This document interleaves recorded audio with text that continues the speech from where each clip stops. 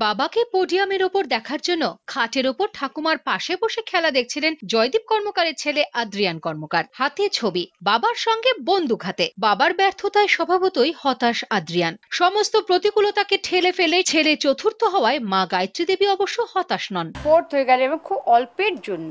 এটা একটু দুঃখের কিন্তু যথেষ্ট। ও চেষ্টা করে ও যায় এখানে এসছে যথেষ্ট। আমি খুব খুশি। আমি বলেছিলাম কি গোল্ড মেডেল আনবে, নাহলে বাড়িতে ঢুকতে দেবো না। বাবা এইবার একটা গোল্ডও না পেয়ে ফোর্থ লেভেলে গেছে।